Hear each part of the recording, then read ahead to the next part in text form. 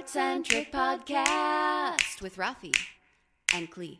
Hola, you amazing artist. It's Rafi. And Klee. And today we're going to talk about using fear to propel your art forward. I want to use like a really fancy title for this. Really, what we're going to talk about is how fear can come in and how not to let fear use you, you know, and really throw you uh, into a tailspin when it comes to your art career.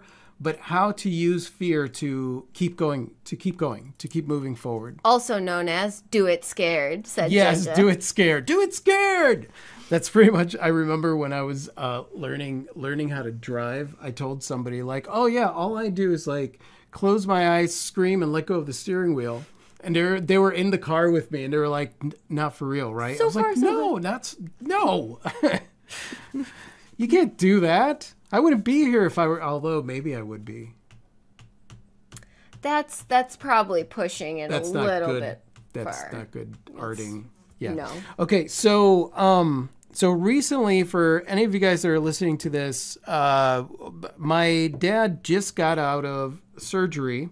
Um and yesterday I had a moment where I went up against fear uh because he called me up and he said that he was going into surgery and going up against that fear, I was already dealing with like uh, imposter syndrome and like all kinds of things because we had this uh, sale, the Oh Crap sale, and the Oh Crap sale did very well. A lot of support came out.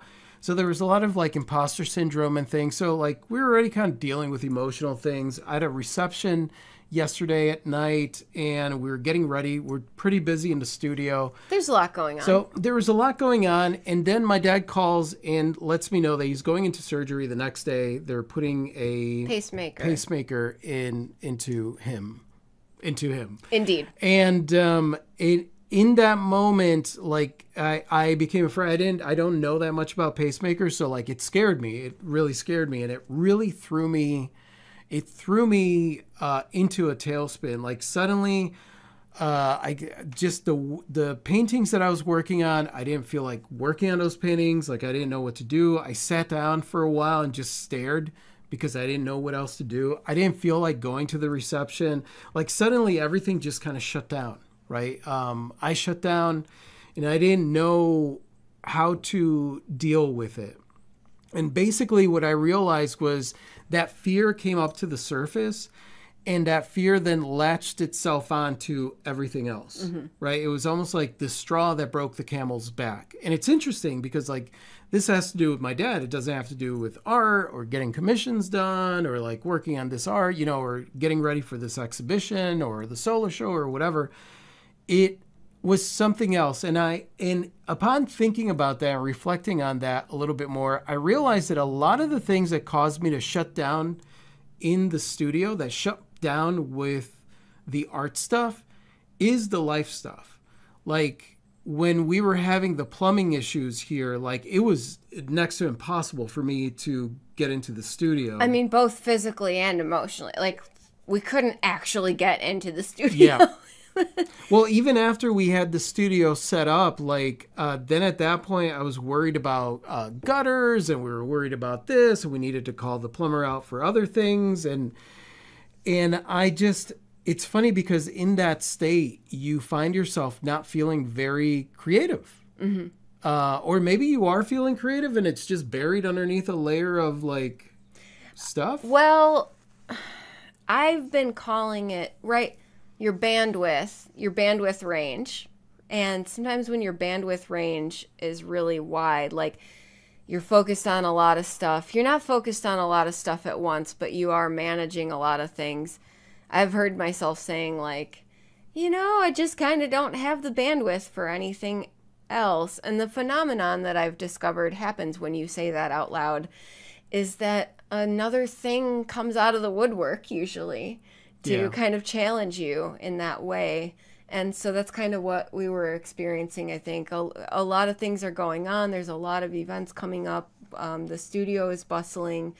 Uh, and and then and then this happens, which is not in the creative realm. It's it's a fight, flight, or uh, freeze response Yeah. kind of a thing and it really can sort of like push you off the track you're on a little Yeah. bit if you let it. Yeah, and I would say that one of the things that I didn't do in the past, which um, I am doing now because I learned the hard way that this is, you know, there there's a way to approach this kind of thing, and it is giving yourself the space, giving yourself the patience, and giving yourself the time to be able to process and heal Mm-hmm. you know no matter what even if it's not something that physically is happening you know obviously my dad is the one that's going through surgery but it's like if if i were to just jump into with everything that went on yesterday the the thing that that showed me was like okay so i just went through that uh, that phone call hopped in the shower got ready we got in the car we drove to the reception mm-hmm. find out that i'm going to talk in front of people mm-hmm. right? it- we're staying a little bit later mingling you know connecting with the community and stuff like that. And i there's a part of me that just wants to run away mm-hmm. right? And at that point you have this choice that comes up like you know the, and this is the way that a lot of like corporate environments deal with this stuff. It's like leave your problems at home. You know basically just bury it inside of you and don't allow those feelings or emotions to don't don't process those emotions right? That is an option that's available to humans, and unfortunately, a lot of humans use that option to get through stuff. the problem is that it doesn't go away. It doesn't it doesn't go away when you do that. So at that point i was like okay i'm going to give myself the space and time. So at one point i could feel my body. I was going i, I, I was going into an i was having an anxiety attack. Uh, like we, we were inside this place. There were a lot of people. It was it was hot. Um, it was great because there was a huge turnout for the show but it just it, i wasn't feeling comfortable. I wasn't feeling safe. And it was allowing myself like i i turned to Klee and i said listen i'm going to step outside because i'm i'm having an anxiety attack right now. And it's and whereas in the past i would have just sucked it up. And that is horrible because it, upon leaving and going outside i gave myself the time and the space that i needed. And then i was able to return and i was okay. I was even able to go up there and say a few words. This is the worst speech that i've ever given. No, it was it was not great. It was beautiful. I own it. I own it i own my I thought it was awesome. it was short and sweet, and everyone was grateful because we had 15 works of art to get That's through. true. That's true. Um, Kelly says, I have fear every time I start a new painting. Yeah, exactly. I mean, and it's funny because that's the thing. It's like these are the degrees to which things happen. You have these big life things that happen, and then you have everyday things, right? Like, okay, I'm processing commissions. I have fear when I'm packaging up artwork, getting ready to contact somebody via email. Like all these little things, you know, you have these like micro um micro fight or flight moments, right? Like, oh, you got to let somebody know. Like right now, unfortunately, I have to let everybody know that the book is going to be delayed one more month, right? I'm going, I have to acknowledge that I'm going to go into fight or flight because that's something that I feel very uncomfortable with because my nature is to sacrifice my well being and force myself to do it and just create something, right? Even if it's not great, and put it out there, Which you don't want to do. which I don't want to do to begin with. So it, but it's that's that's one of those things, right? So like whenever you're doing something, when you're working on a painting or you're you're doing, those are those micro moments where you're like, oh shit, like I'm gonna do this thing. I'm discovering how effective it is to actually shut off the thinking during the fear times. Yes. And I'll go a little more into that in a second. But Jinja said, when Papa Snaps had surgery, I realized that I handled that panic by working on Excel spreadsheets, literally self soothing via charts and graphs. Nerd alert. I love it. I love it. So this touches on like whatever grunt work is for you and I call it grunt work because it's like it is a form of soothing. So if that's like spreadsheets or it's mowing the grass or it's like folding towels or it's like a thing that you can do well enough that you don't have to like struggle with it. Those kinds of soothing things can be effective. Um That's where we'll have a day where we're like, you know, the like today I was like, you know, I'm just gonna we're gonna we're gonna take some packages to the post office. I'm just gonna work on some video stuff. Like I'm just taking it easy today. And I got in the studio and I worked on the a, a thing that I knew would not present a challenge Yeah. for me. It would be like really smooth sailing. Yeah, because I knew that I was going to be like sitting by the phone and waiting to see how the surgery mm-hmm. went, and I just didn't want to throw a whole bunch of things on my plate. Ginger said it's one thing to do it scared. It's another thing entirely to do it at your own expense. Be kind to yourself. There is a Exactly. difference there. Exactly. Very well put, Ginger. Diane said also on some level you may have been feeling guilt for not being able to give your dad your full attention because your own life stuff was happening. Yeah, Diane, that's a good that's a good insight because that was part of what was going on. I was like in the middle of painting, um, putting the varnish on different things, Trent, you know, in my brain I had a plan like, all right, I'm going to put the varnish on these things, then I'm going to go take a shower, then I'm going to get ready, then we're going to go to this reception. And when he called, I honestly like the phone was ringing and I was like, uh, I'll probably answer that later. But for whatever reason decided to answer it right then and there. And so like it was it was just it it was i my attention was split. I actually had to call him back like 10 minutes later um to really hear what he was saying because i think i didn't make sense of what he was telling me Like you kind of went into some kind of autopilot modality. I did, I did. So I called him back and I was like, "What? What time is the surgery?" And I know that he told me. I just like I was disconnect. Something happened. I got disconnected. I think this is a good point to make here too. Um, something catches you off guard. You have a fear response that maybe wasn't super excellent, and a lot of people want to just like tuck that under the rug and move on. But I think actually a really healthy thing that you can do, especially if it involves another person, is to be like, you know, I'm sorry, I wasn't really being present because this really kind of caught me off guard. Like, I I'm here now, or like I can say that better, or I'm present now. Can we like, can we can we have a do over kind of a thing with that? Or like you know, if your response to something wasn't ideal, you can go back and say, you know, I could have said that better. I didn't mean it that way. I could have said that better. Yeah. Um, specifically i know a couple of the rogues here mentioned feeling the fear of like starting a thing or like doing something that maybe is a little scary starting on a painting um, starting a new project especially if it's something you haven't done before or like maybe you have an upcoming event that pushes at your comfort zones and like what to do about that Yeah. and um, historically, and I can tell you that this is not a very effective thing to do. Basically, when when we had like a workshop or a speaking engagement coming or something that made me really really uncomfortable, I would generally make myself completely sick over it for like the month beforehand, knowing the whole time that I was gonna do this thing. I wasn't backing out um, I I often would feel like I was awaiting my own execution. Like it was that level of like making myself sick. And then the day would come and I would have to do it anyway. So I would have to find my like non-thinking zen place and get through it and it was always fine. It was always better than fine most times. It, it's it's interesting how that works, isn't it? yeah. And so i've really started paying attention to how ineffective that whole making myself sick thing is. And i've actually even though this is really counterintuitive I have been finding my non thinking place more often than I have not because what I have realized through hard earned wisdom and struggle is that I have never thought my way out of a single situation or into a single better place by hitting it hard with the brain juices.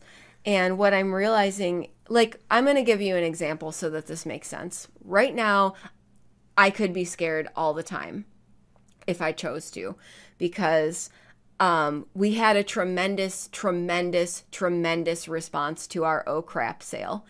And I have an insane amount of jewelry to make. and I am terrified to let people down. And I gave myself a deadline to complete these pieces of jewelry. And my brain doesn't think I can do it before the deadline, but my heart thinks that I can. So my normal MO would be to do a bunch of math and figure out how many hours it's going to take me to make this list of jewelry and then break down the days and then likely discover that it's impossible and then stress out about it and make myself sick. So instead of doing that, I am not doing the math and I am going into the studio every day, even if I have only 30 minutes like I did today, or if I have a couple hours, and I'm like, mm, from this place, from this feeling place, I just feel like I can do it. I don't need to do the math. So instead of thinking about it, I'm just doing it. Yeah. So I just did what I could today. I'll do what I can tomorrow. I don't want to put that whack energy into what I'm doing anyway. So that can be really uncomfortable to switch off your your thinky parts when you feel like you have to navigate a challenge, but I'm actually finding it to be hugely effective. Well, I, the the truth is that the thinky parts are really great when you are analyzing something.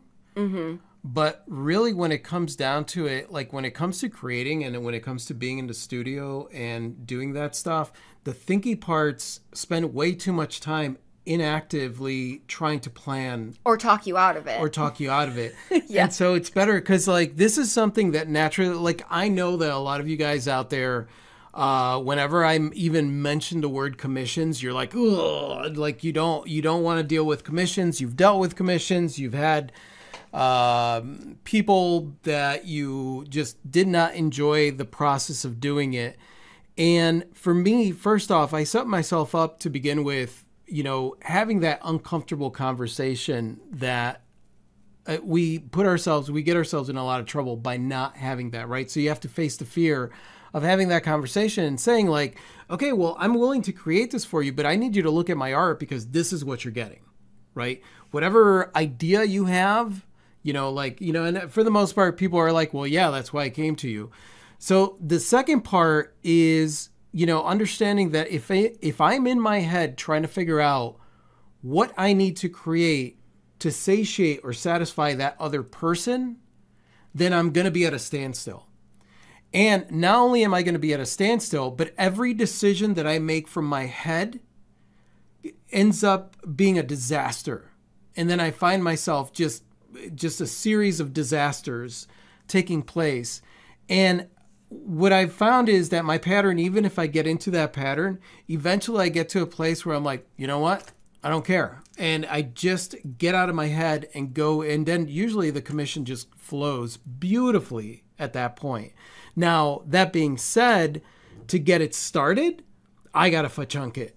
Mm-hmm. Like I gotta fachunk it because if not, I get in in the research and development stage of trying to figure out exactly how I'm going to attack this thing and just sit there and I go into analysis paralysis and then I don't move forward. You know, because I'm overthinking it. Mm-hmm. If you are having a hard time starting something, it's because you're up here. You're overthinking it. Yeah. I was going to say, for chunking also requires a level of letting go of that thinking and just getting in there and doing it. It's like Anhan is saying, I hate, I keep having to tell myself, shut up, I don't want to hear it. I'm busy actually doing a thing. And then it's an out of body experience doing the thing. Exactly. Exactly. I want to acknowledge that this non thinking place that we're describing also is a form of thinking, but I feel like it's actually using higher faculties than our like beta wave, like navigating life, like stress brain. It's yeah. actually like it feels less like thinking and it feels more like doing but it actually is like a higher conscious function that you're employing. Well it's it's, a, it's coherent it's it's a series. Here's the thing right? Your brain your brain is going to try to use predictive models when you're doing something. If you're working on some art right you can kind of predict this thing or whatever based on the experiences that you've had before. But if you're creating something that you've never created before, or you're experimenting, or you're doing something that is new in some way, shape, or form, because for me, every painting is an adventure. I'm like, I don't know where I'm going. And so, like, you get up here and it tries to, you try to lay out a plan ahead of time without knowing where you're going to be right? Because I love that Jinja says autopilot isn't always helpful. There is a reason why planes have two human pilots, you know?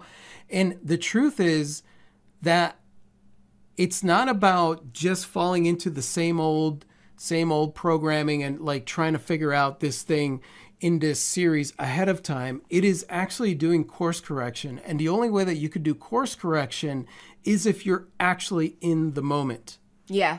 Not trying to predict what the outcome is going to be or trying to satiate some kind of thing that you don't even know whether it exists yet but actually being in the moment and saying, you know, that's where for chunking comes in. Well, let me get started. How do I chunk this? Well, I need to put charcoal on canvas. And then you get started.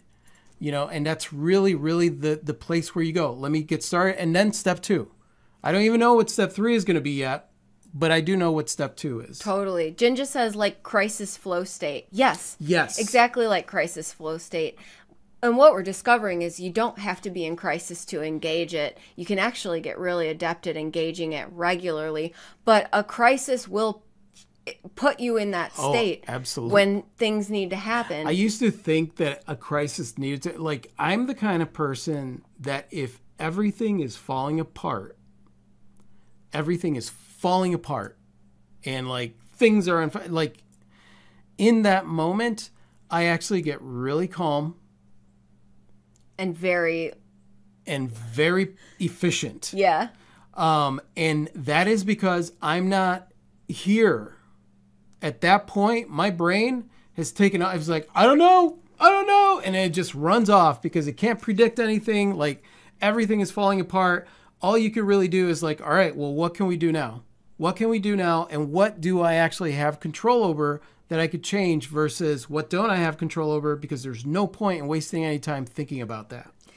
Um, Jay said I launched my store two days ago and I got six sales right away. Congratulations. Jay. Congratulations, Jay. I haven't had anything or even many visitors in 48 hours, and I feel so scared that my stomach is upset. Can't convince myself that it takes time. It takes time, Jay. Yeah, it takes time. Um, that's you know, that's how that's how it works. Congratulations, by the way. I went to your store. I love love your setup. I love what you set up. I love the things that you have. It doesn't surprise me that you made sales right away. Um, but that's how it works. That's how it works. Even with our big oh crap sale, like it came in waves and it really just comes in waves when you say something. When you say something, when you post something or you say something, mm-hmm. then you get a handful of sales, you know, and and, and by handful of sales, I mean like four four to six sales, and then it just dies off. And then maybe you mention something again a couple days later, and then you get four or five sales, you know, or a sale or something like that. That's really the way that it works. And even that takes time. You know what I mean? Like it just takes time. Mm-hmm. Um, but yeah, the fear, the fear is definitely going to come in. That's something that I still experience. You just got to get comfortable in your discomfort. That's true. That's really the the way that we deal with with the fear is understanding that everything that I want in life that I don't have in some way or shape or form is because whatever it requires me to do to get there is outside of my comfort zone. I haven't done it yet. Right? Because if not, I wouldn't want that thing. I wouldn't want it to be that way. And there's so many so many aspects to this too that we're not going to get into in this in this podcast because you're also dealing with fear of success mm-hmm. that's keeping you small. You're, you know, what if what if things get too big? What if I sell? You know, I remember we had so many times these conversations where it's like, oh yeah, I'm going to release this series, and then the question would come up, well, what if you sell like, you know, a hundred of them? Or a thousand. Of What if them. you sell a thousand of those? Ah, I can't do that. You know, it's like all that stuff. You start you start to freak out. But it's good to it's good to acknowledge, Jay, that you're looking at that. Like all of you, like it's good to acknowledge, like I'm scared of this, and yeah, maybe right now I can't seem to find my to convince myself that it takes time or that I can do this. But you don't have to convince yourself. You basically just have to tell yourself, yeah, yeah, it's gonna be fine. Yeah, yeah, this is how it works. You know what I mean? And I know that that sounds very dismissive, but sometimes you got to I feel like I have to be that way with my own brain. Kind of like what Anhan was saying is tell, you know, you just just shut up. I don't want to hear it. And in a loving way, right? In a loving you can way. be loving because understand that like your brain is it's you, right? Um and you're trying to protect yourself out of a place of love. And so from a place of love, you can be like still shut up because I have stuff to do, but I love you. Like thank you for wanting to protect me, but I have stuff to do. Yeah, because in a situation like that, um, like what Jay is saying, and I've experienced this many times, and I probably will experience this again. It's like you come in and you're like, well, you know, it's just not working. And you're telling yourself that because it's easier for you to tell yourself that and disappoint yourself than for somebody else to tell you that. And like that really at the end of the day, that's that's what you're doing. You're protecting yourself it's a good idea to remind yourself like oh i don't need that kind of protection. If somebody else comes to me and they're like yeah your plan doesn't work i'd be like whatever. You don't know. You know you haven't seen it. You haven't seen me in action yet. That kind of thing. Maybe you could just tell your own brain that like you haven't seen me in action. I like it. yeah. Um, when it comes to something that you're scared to do and you know you're going to do it anyway, right? You're not backing out. So you don't have like a, the ability to back out because you're not going to let yourself. Um, and barring any catastrophes that you might be hoping for that might prevent it from happening, you pretty much know you're going to do it. Like you're going to give a speech or you're going to teach a class or you're going to do a video or a live stream for the first time. And you're going to be scared and your your brain is going to come up with all kinds of things Yeah. and i think um, whatever you can do to take any pressure off um, including doing commissions or starting on a new project that you're like i'm not qualified for it and everyone's going to hate me and this sucks i suck everything sucks is like whatever you can do to take that pressure off i'm a human being sharing things with other human beings. That's what I tell myself anytime we're going to do a podcast, a live stream, a workshop, any kind of live event. I'm just a human sharing things with other humans. I'm allowed to say I don't know. I'm allowed to stumble over my words. I'm allowed to F this whole thing up and be like, oopsie, it was an off day for me. I'm allowed all that stuff because I am just a human being. So Yeah. any idea that I need to be more than I actually am is bull garbage. Let's just take that off the table. If people are purchasing your artwork or commissioning you, it's because they love your work or they love you.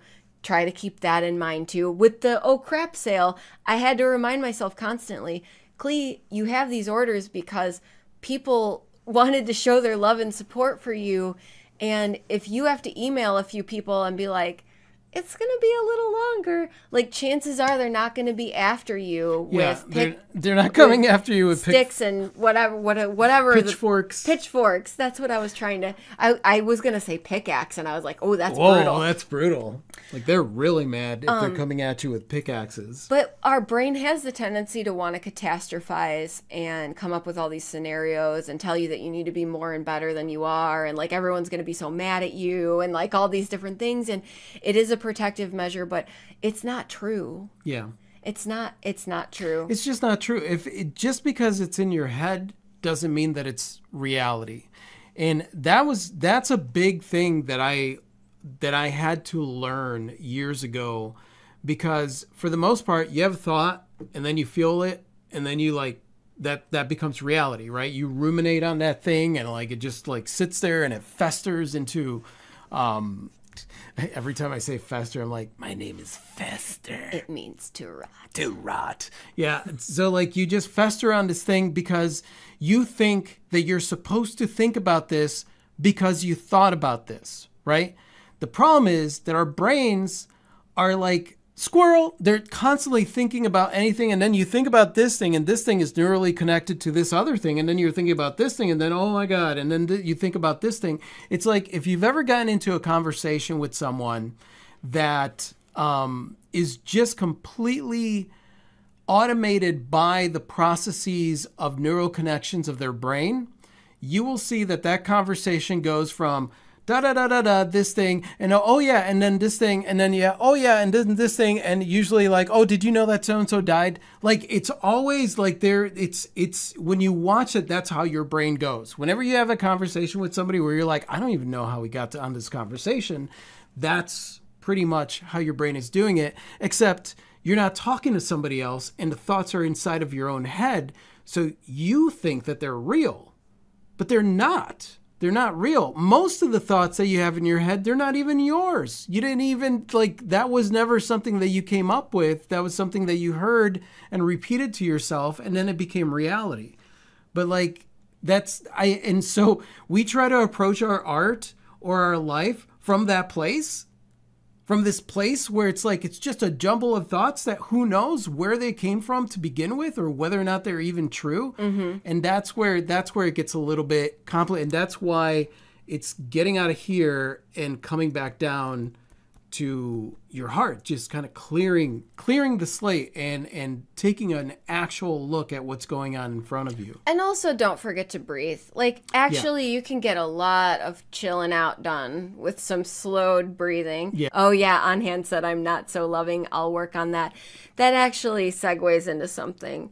Sometimes i forget and i think sometimes i think humans forget when we're complaining about our brains that we are talking about us. Okay, so I'm laying in bed the other night and I have this tendency to think when I don't necessarily want to be thinking. And so I I I had this experience that was almost like in Doctor Strange when the master just pushes him right out of his, his astral self, right out of his physical self. Yeah. So I'm laying there thinking, and the next thing I know is I'm complaining why is it that when I'm trying to drop into like deep coherence or deep meditation that my brain won't cooperate? And then I had the realization that it was my brain filing the complaint with me about itself. Yep. And I was like, who's even talking right now? And who am I listening to this complaint being filed about itself.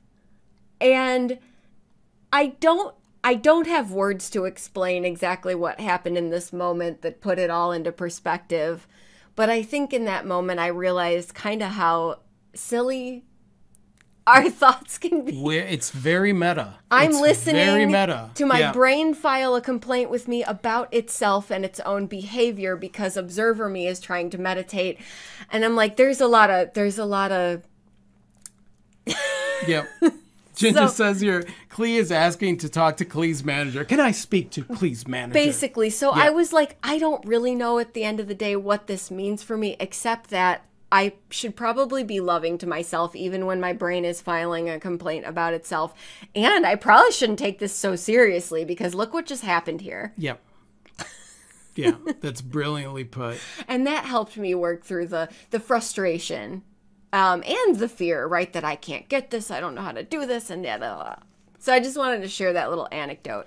Nicole says, dropped into doing digital commissions, first time doing commissions overall. Still terrified, but putting myself out there, trying not to worry I won't be able to draw something like hands perfectly. Yeah, it, the, that is a big part. It's like getting what helps me when it comes to commissions is realizing that no matter what, I'll, I'll get it done. I'll figure it out. Even if I draw a bunch of crappy hands, like eventually I'm going to hit on what it is that I'm looking for, you know, because hands are lucrative. I'm hands, surprised you didn't say it. Hands are lucrative. Yeah. It's true. Uh, Nanu said, I'm a shy person and I do not like talking to strangers, so doing street photography is terrifying if I think too much about it. But if I just do it, I have a great yeah, time. Nanu, exactly, exactly, and that's where chunking really comes in because, like, man, we can overthink. We could overthink a project to death, and that's the reality of it. Every painting that I've ever had that never got finished, it's because I overthought it. And then after a while, the momentum is done. It goes away. And you don't even want to go back to that project because you've turned it into a nightmare. Because every time you think about it, you're overthinking it and you're stressing yourself out. Carol said, like my upcoming market, my first outdoor one, and I'm scared I won't have enough products as I have collectors coming from out of town too. It's all new, scary, but working through it for chunking style. Yes, Carol. And the next next week's podcast, we're actually going to talk about your questions that you sent us about what what we would take going out to in, mm-hmm. to a market in a situation like that. And in the meantime, I'll drop this nugget, which I'm sure you already know, but like I was saying earlier, you know the show's you know the show is going to happen. You know it's going to happen on such and such date. You know you're not backing out of it, and you know that thinking is probably not going to get you where you want to be, and so just do what you can knowing that even if you were to show up with less stuff than you intended, it's still going to be an experience. And I've had to tell myself that because I'll have ambitions for shows. We all do. yep. But the reality is that if I get half of that done, it's still going to be a good show. That's where that's where I was, Carol, when it came to the show that I'm doing at Woods and River. Like I created, I was working on a bunch of pieces, and I was like, you know, if I get five of these done, then that's what they're getting. You know, and that's that's really you gotta you gotta be okay with like good enough. You know, we used to say like good enough for government work. or good enough for the girls we go with, as Yeah. Cassie likes to say. Jay said, "Thank you. I've been telling myself whenever I want to quit that uh, you'll re- you regret not doing this at 20. If you don't do it now at 40, how will you feel at 60?" Jay, that is so good. That is my motivation. My motivation because I spent so many years not doing it that at this point I'm like, I don't want to have any regrets. I'd rather do something and fail miserably, but at least do it and then pick myself up and then try and do it again than to never have tried it at all and and and given up. Like I just I don't want to give up. I don't have time for that jazz. You know what I mean? My life is short. I'm gonna be I'm gonna be fighting the good fight for until until I you know crawl off this mortal coil. And sometimes I'm like, well, what the hell else am I going to do if I give up? Like, I don't really have a plan B. Exactly. Jinja said, I've accepted that my brain has two parts the scared little potato who's just doing her best, but also this big dumb liar that can't be trusted because panic button mentality. Exactly. Yep. Exactly. I love that, Jinja. Barbara said this past month, past month, this past month has been a dance between inspiration and excitement for transitioning into an expansive life and my system freaking out, dysregulated, and intense pain flare ups because of fear of unknown. Fear fear screws us up, guys. Dude, it and your, really does. Your body will pull, your body and brain will pull the fire alarm Yep.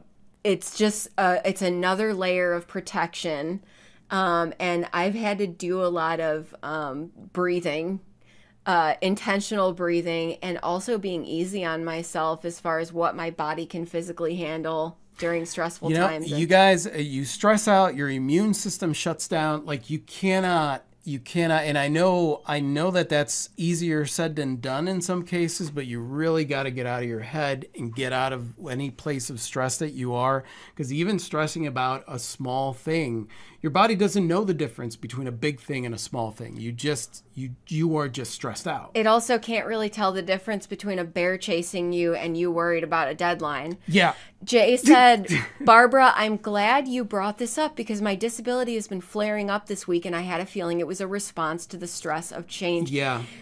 Stress and and the way that your body responds, in my opinion, are so woven together that you almost can't separate the two. Your body will respond to your emotional state. Yeah. And sometimes it's surprising to me how much so, but I can feel things happening in my body when I've been in stress, and I can feel other things when I've been in peaceful states. So, Anhan says, to be honest, the thing I am terrified to do is talk to a cafe that shows local artists work. I realize that I keep getting too busy, quote unquote, Yeah. because I'm scared, right? I totally get things, that. So many things like, oh, I need to respond to these people, and then I get too busy and I don't respond. There was the, somebody, uh, the the newspaper uh, wanted to interview us, and they sent a, an email And then I panicked and I just didn't respond until today. I responded. I did respond today because I was like, I need to. I, I'm going to respond, yeah. and I went through the fear. But like, it's funny because it's these things. We've been interviewed before, but then these things just out of the woodwork. These weird fears that pop up, and like, well, because it has to do with the book. It has to do with the book. Yeah. Mm-hmm. Uh, yeah. That's so weird. Yeah. It's I think it's very important in times of stress and when you are experiencing fear and I just to like to summarize this as we're um getting ready to wrap up mm-hmm. here. Fear is natural. Fear doesn't mean you've done something wrong and fear is not this thing that we need to repress or sweep under the rug. You are a hundred percent um, you have permission to feel your fear uh, the thing is to not let it eat you from the inside. Yeah. So develop practices that work for you, whatever works for you. We wanted to share some stuff that works for us, but you know yourself best to care for yourself and allow yourself to be present with that fear but also not live there. Yeah. And that means a holistic approach. So that means the way you talk to yourself, that means how you're caring for your body, and that means what you're thinking and what you're what you're consistently thinking. And yeah. if you're consistently thinking damaging thoughts, then make little shifts in a better direction so that you get more comfortable thinking in a way that serves you more. And that is gradual. Yeah. Um, you're not going to make a hard pivot from thinking in ways that don't serve you to thinking in ways that do. But I have noticed just over the past couple of months areas where I had a tendency to be more pessim- pessimistic and self uh, self damaging. We'll just say I have been making small shifts and it's um, not as hard as I used to tell myself that it was. And I've noticed that my default responses are becoming responses that serve me more through doing these practices of self care holistically, breathing, eating in a way that serves me, talking kinder to myself, giving myself the space to process my feelings, giving myself permission to fuck things up. And giving yourself permission to have fun. And to have fun. Have fun. And don't take it so seriously because I, I, it's kind of like what you experienced when you were in bed and realizing, like, wait a second. So I want to talk to my manager, which is me. My brain has a complaint to file with itself about itself, exactly. and who is listening? Exactly, and uh, like I think that that's the problem is we take all these things so seriously, and it's just our thoughts. Like it's just our thoughts. Yeah. You know, and like we, it's just our thoughts. We're just creating art. We're just living life. So like we could pretty much make it whatever it is that we want to make it. Mm-hmm. And if you find yourself stressing out about something, then you're overthinking it. And not only are you overthinking it, but you're telling a story. And that story is a story that doesn't serve you in some way, shape, or form. Because if not, you wouldn't be stressed out. So at this point, I'm like, I just want to tell stories that like make me excited. You know, and, and considering that everything that my brain is saying is like hit or miss or like real or not real, I might as well just make up stories that are good that I enjoy that like really motivate me and, and move me forward. Since most of our constructs and in reality and life are ones that we made up anyway. You yeah, just make up ones that are good. They're all that ones that we made up or other people made up and we bought into them. Yes. Um, and I would like to also read Jay's comment here because yep. this is great. Pushing the edges of fear causes growth anyway. Six months ago, there's no way I would have posted videos to social media. Now it's three seven three to seven times a week. That's awesome and i think that that's yeah. beautiful and that's something to remember with fear too is that you are no matter what the outcome if you are facing a fear you will come out the other side of that more badass than you went in. Yep. Unequivocally without exception every time. Every time no matter if you fall on your face or you have a triumphant success, when you face a fear, you emerge more badass than you went in. And that is actually pretty exciting. That's a pretty good motivator for me because I like accumulating badassery points. Well, I think that that is a great place to end. This was great. Thank you so much to the Rogues for being here. And for everybody listening to this at home, thank you so much for listening. Hey, if you like this and you want to subscribe for more, um, whatever platform you're on, Spotify, Google Podcasts, whatever, YouTube, go ahead and subscribe to us. Uh, and we should be doing one of these every week, once a week. That's the plan. That's the plan. So, yeah, other than that, you want to say goodbye, Klee? Good day. Adios.